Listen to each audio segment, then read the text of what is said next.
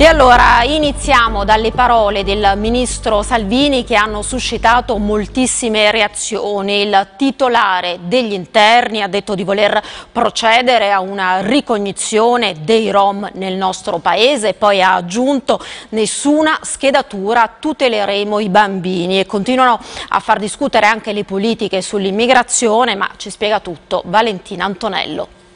Mi sto facendo preparare al Ministero degli Interni un dossier sulla situazione Rom in Italia, perché dopo l'intervento di Maroni, che ormai però risale a 5, 6, 7 anni fa, nessuno ha fatto più nulla. I Rom italiani eh, purtroppo te li devi tenere in Italia. L'intento, spiega a Tele Lombardia, è solo quello di censire per vedere chi, come e quanti sono i Rom. Una tutela soprattutto per i bimbi educati al furto e all'illegalità, insiste, replicando ai tanti che parlano di proposta shock. Salvini ci riprova dieci anni dopo la raccolta delle impronte lanciata da Maroni ma stoppata da Bruxelles. Immediate, ieri come oggi, le proteste di Rom e Sinti. In Italia il censimento su base etnico è vietato dalla legge, replicano dall'associazione 21 luglio ricordando che molti sono cittadini italiani, altri apolidi, dunque impossibili da espellere. Arriva anche il monito di Angela Casamonica, italiana di origine rom. Non siamo criminali, Salvini non ci può cacciare, con noi deve rigar dritto. Dopo la sortita controversa del ministro dell'interno, le parole di Fedriga, via la protezione umanitaria che introdotta dal governo Prodi nel 2006 per il governatore del Friuli Venezia Giulia esisterebbe solo in Italia.